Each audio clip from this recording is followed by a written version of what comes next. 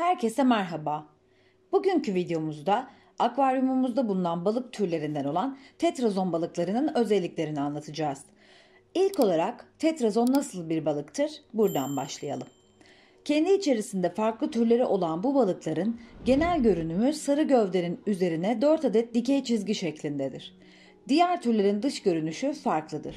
Yakut ya da green tetrazon denilen ve albino tetrazon denilen türler genel görünüm itibariyle daha farklıdır. Tetrazonlar sürü halinde yaşamayı seven balıklardır. Akvaryum içinde en az 5 adet olmalıdır. Kendi türlerine karşı orta derecede agresif, diğer balıklara karşı ise agresif bir türdür. Akvaryumdaki diğer balıklara rahatsızlık verebilirler. Bu yüzden tetrazon balığı alırken hangi balık türleri ile uyumlularsa o balıklar ile bakılması tavsiye edilir. Tetrazonlar çoğunlukla suyun orta kısmında yüzerler. Akvaryumda kalabalık bir sürü halinde hareket etmeleri güzel bir görünüm oluşturmaktadır. Ortalama 4-5 yıllık bir ömre sahip olan tetrazon balıklarının dişileri erkeklerine göre daha sade bir görünüme sahiptir. Erkeklerin sırt yüzgeçleri ve burunlarında kırmızılıklar bulunurken dişilerin sırt yüzgeçlerinin önemli bir kısmı siyah ve geniştir. Tetrazonların yaşadığı akvaryumun hacminin en az 80 litre olması, su sıcaklığının 22 ile 26 derece arası olması ve suyun pH değerinin 7 dolaylarında olması bu türün sağlığı için önemlidir. Bu balıklarımızın boyu en fazla 6 santimetreye kadar ulaşabilir. Akıntıya karşı yüzmeyi severler. Koyu bir taban ile bol bitkili bir tank renklerini daha iyi göstermelerini sağlar. Beslenme biçimlerinden bahsetmek gerekirse hem etçil hem otçul canlılardır. Doğada öncelikli olarak solucanlar, böcekler ve diğer zooplanktonların yanı sıra az miktarda bitkisel madde ve tortularda yiyecek arayarak beslenirler.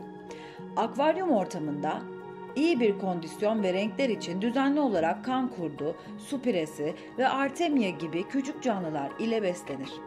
Ayrıca bu canlılara dondurulmuş yemlerin yanında kaliteli pul ve granül yemlerle birlikte bitkisel içerikli yemler de verilmelidir. Tetrazonların üremeleri de şu şekildedir. Tetrazon balıkları 2-3 cm boya ulaştıklarında ya da 6-7 haftalık olduklarında üremeye müsait olurlar. Dişi tetrazon 2 hafta arayla yumurtlar ve ortalama 250 ile 300 arası yumurta bırakır. Daha büyük ve yetişkin dişiler ise bundan daha fazla yumurta yapacaktır. Çoğu küçük sazan gibi yumurta saçarak ürerler ve yumurtaları korumazlar. Ancak üretilmeleri zor olabilir. Çünkü tetrazonlar kendi yumurtalarını yerler. Kendi yumurtalarını yememeleri için alabileceğiniz en iyi önlem akvaryum içerisinde geniş yapraklı bitkilerden bol miktarda bulundurmak veya akvaryum tabanına iki sıra misket sermektir. 24-48 saat içinde yumurtalar açılır ve daha sonra 24 saat civarında yavrular serbest yüzüşe geçerler. Yavrular mikrokurt, artemia veya benzeri yemleri yiyebilene kadar ilk birkaç gün infusoria türü mikroskopik yemlerle beslenmelidir. Tetrazon balığı hangi balıklarla yaşar biraz da bundan bahsedelim.